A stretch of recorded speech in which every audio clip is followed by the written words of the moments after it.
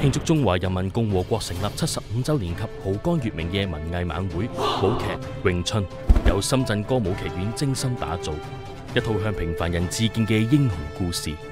舞剧将咏春拳等五大武术门派用舞蹈演绎，刚柔并济。观众亦可同时欣赏香云纱、经曳服饰两项非遗元素融入剧情之中，尽显岭南文化。门票于澳门售票网公开发售。